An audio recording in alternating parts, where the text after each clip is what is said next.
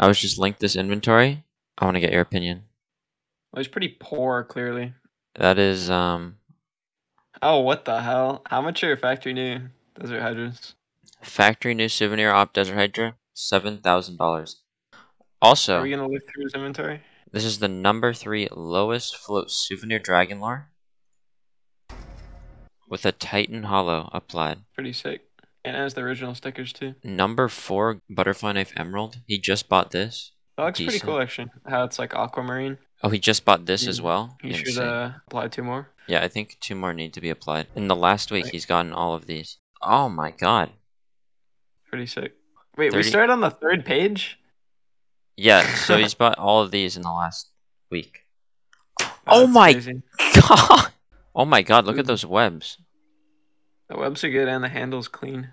Glove crimson kimonos. Those look really Ooh, red. Those are good, and the letters are clean. Ooh, Arabesque. Oh, I haven't seen that. Ooh, uh, those stickers are pretty clean. They like the the complexity of the pattern goes well with like the skin, Yeah, and it has like the, the baguette. dude. And it has the baguette. I Perfect. like. I love the baguette. Another howl. Another StatTrak fa- Oh my god, and it's 009.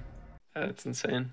Just a couple reason gaming holos. Four times Titan Holo. Good fade. Oh, he bought this as well. Cheapest one is listed for a hundred grand.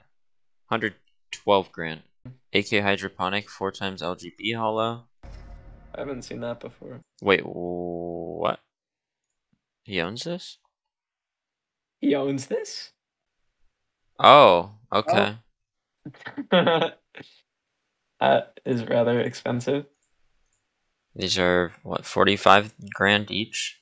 I love that skin. Such a classic. It's JW Factory New. This is over two hundred thousand dollars.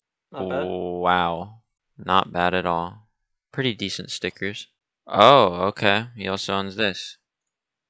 my god, is that triple zero? Yeah. What's the AK? Oh, what? What? I, I didn't even know that was a thing. Another six six one. That might be one of the best ones because it's just unique. I like how we're just skipping by like hundreds of thousands of dollars worth of skins. I mean sapphire. Eh. Whatever. Ruby, Whatever. I've not seen too many hyper beast crafts, to be honest. Kato crafts, especially not the M4. It's weird. It's weird why that. Why is that? I don't know. It's weird that he's still buying. Oh, Oh. okay. So this is probably like 250k.